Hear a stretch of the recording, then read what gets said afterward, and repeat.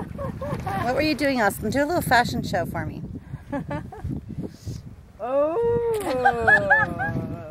the other way, the other hand.